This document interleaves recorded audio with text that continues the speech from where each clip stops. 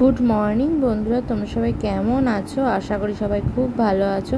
আমিও খুব ভালো আছি। বন্ধু মলে নিয়ে চলে এলাম একটা নতুন রেসিপি আজ বাঙালির সবচেয়ে প্রিয় রেসিপি মাছের মাথা দিয়ে মুগ ডালের একটা রেসিপি করে দেখাবো। সেই মাছের মাথা যদি হয় ইলিশ মাছ, তাহলে তো কোনো কথাই নেই। চলো, চলে যাই আজকে রেসিপিতে এখানে আমি মুগ ডাল আর ইলিশ মাছের মাথা নিয়ে নিয়েছি। মুগ ডালটা সেদ্ধ করে নেব আর ইলিশ মাছের মাথাটাকে ভেজে নেব। এদিকে ইলিশ মাছের মাথায় নুন হলুদ মাখিয়ে নিলাম আর ওইদিকে আমার ডাল সেদ্ধ হয়ে গেছে। ফোড়নে দিচ্ছি গোটা জিরে, তেজপাতা, শুকনো লঙ্কা আর একটা টমেটো কেটে নিয়েছি আর নিয়ে নিয়েছি কাঁচা লঙ্কা। আর এদিকে আমার ডাল সেদ্ধ হয়ে গেছে, এই যে একটা পাত্রে তুলেও নিয়েছি।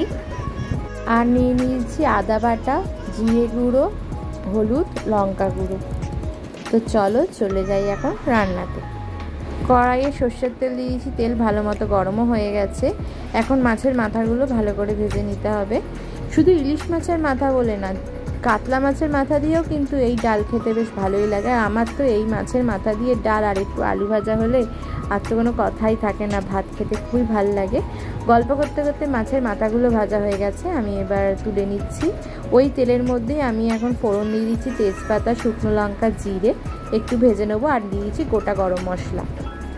গরম ভাতের সাথে এরকম কিন্তু ডাল থাকলে বেশ ভালোই লাগে। আর শীতকালে তো ইলিশ মাছ সেরকম পাওয়া যায় না, পাওয়া যায় না বললেই চলে, যেগুলো স্টোরে থাকে ঠিক আছে, কিন্তু অন্য মাছের মাথা দিয়ে কিন্তু এটা একবার ট্রাই করো, শীতকালেও কিন্তু ভালো লাগে খেতে।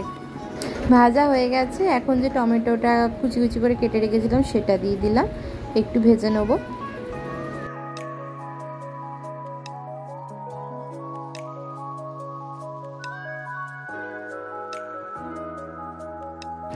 দিয়েছি দুটো কাঁচা লঙ্কা, মাঝখান থেকে চিড়ে নিয়েছি। এবারে দিচ্ছি গুঁড়ো মশলা আর আদা বাটাটা।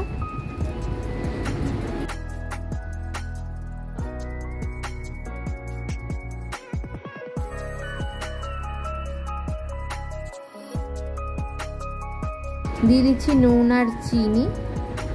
এবার মশলাটা ভালো করে কষিয়ে নেব আর দিলাম সামান্য পরিমাণে জল।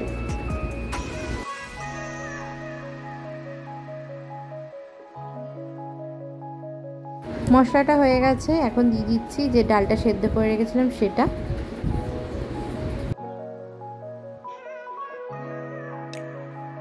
আর দিয়ে দিলাম ভেজে রাখা মাছের মাথাটা।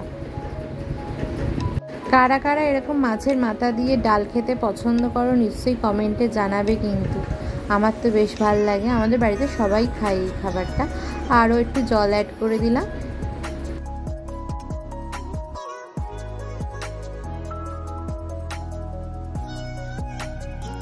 ব্যাস, এখন ডালটাকে শুধু ফুটতে দিতে হবে। ফুটলেই আমার ডাল একদম রেডি হয়ে যাবে। এই যে ডাল খুব ভালোভাবে ফুটছে।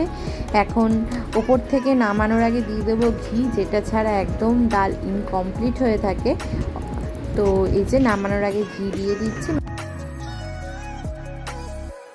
ব্যাস, আমার ইলিশ মাছের মাথা দিয়ে মুগ ডাল একদম কমপ্লিট একদম সুন্দর গন্ধ উঠেছে ঘিয়ের একটা যে সেন্ট প্লাস ইলিশ মাছের মাথা দিয়ে যে রান্না করেছি, তার একটা গন্ধ। চলুন, চলে যাই এবার প্লেটিংয়ে তো বন্ধুরা, আজ তোমাদের ইলিশ মাছের মাথা দিয়ে বাঙালির প্রিয় খাবার মুসুর ডালের একটা রেসিপি করে দেখালাম। কেমন লাগল রেসিপিটা নিশ্চয়ই কমেন্টে জানিও, আর তোমরাও কিন্তু একবার ট্রাই করো। এখন কিন্তু ইলিশ মাছ পাওয়াই যাচ্ছে। তো তোমরাও কিন্তু ইলিশ মাছের মাথা দিয়ে এটা ঝটপট ট্রাই করে ফেলো।